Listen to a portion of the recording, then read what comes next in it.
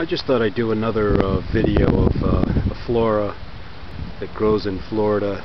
Um, we're basically in zone 10B, 10A, um, and this shows you a mix of what grows here. There's, uh, there's succulents growing here, there's palmetto palm growing here. You can see there's fruiting coconut palms growing here. And um, this is an example of what uh, the kind of things that grow in zone 10B on the lower east coast on the Florida Peninsula. And you can see here there's uh, there's basically just about every possible thing. Yucca, uh, coconut palms, cactus.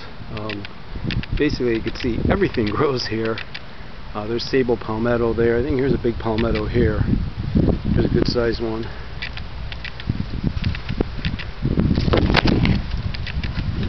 Uh, right mixed in there, if you look in close, you could probably see there's agave and maybe naturalized and maybe growing wild here. Um, so again, this is this is a good example of all the things that grow in Florida. It's just amazing. This is uh, generally a frost-free environment. Uh, maybe every five, ten years there's a very light frost here, a matter of hours, and uh, that's it. And uh, basically anything will grow here. And uh, you can just take a good look here. You can see what's here. And there's some fruit up on those coconut palms cactus really are large here.